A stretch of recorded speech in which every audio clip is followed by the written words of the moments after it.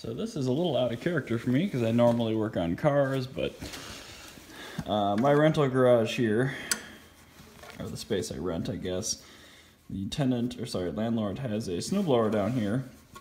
This is from the mid 90s.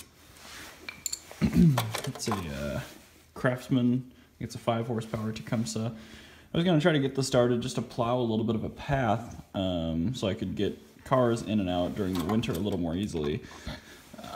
I've actually been doing a little bit of cleaning on this carburetor, um, but it seems like I'm having issues with uh, the primary jet or a needle issue because no fuel is actually getting to the um, throat of the carburetor.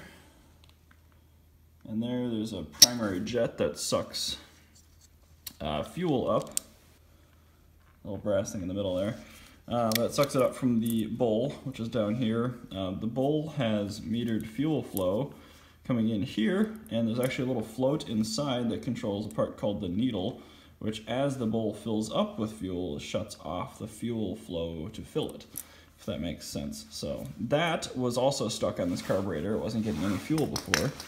Uh, I fixed that. I took out the uh, the jet. I cleaned it with a little bit of uh, wire brush needle, but it still isn't working. So last ditch effort, since this uh, blower really isn't mine anyway, I bought this replacement uh, China carb for it. This was like $10 shipped.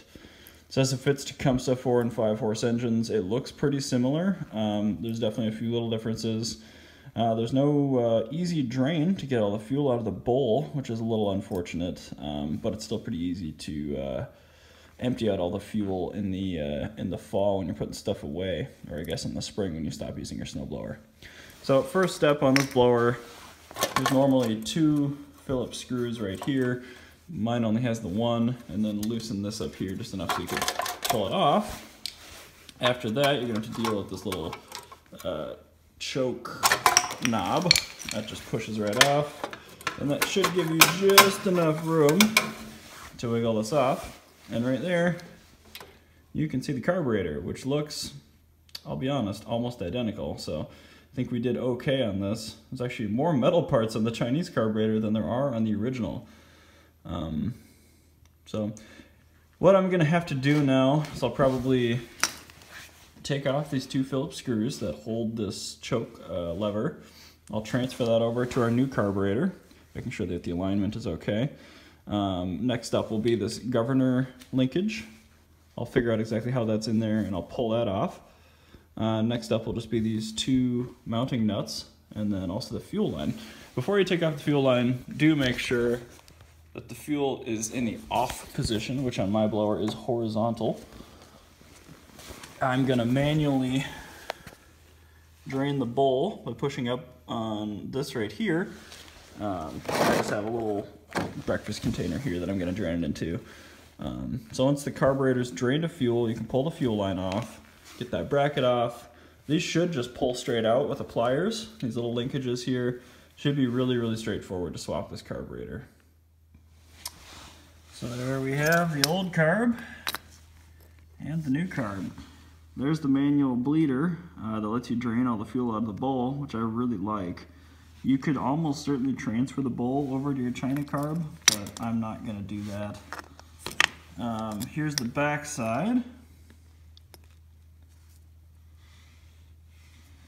The old gasket that I took off actually looks really, really good still. Um, but since the carb came with a new one, I'm gonna throw a new one on there. Um, these are not captured hardware somehow. So be a little careful when you're threading these back on. But uh, yeah, the next step is gonna be um, put this gasket on there, uh, seat the carb on there, tighten down those two little nuts. Then we'll get the uh, brackets and linkages back on it. So there's the shiny new carb. Linkages all reattached. Uh, I gotta put the choke lever back on it now. Um, and then reconnect the fuel line. Pretty much should be ready to prime it at that point and uh, see if she'll fire up. Well, there we are, fully reassembled. Well, that was easy. Barely took one little crank and fired right up.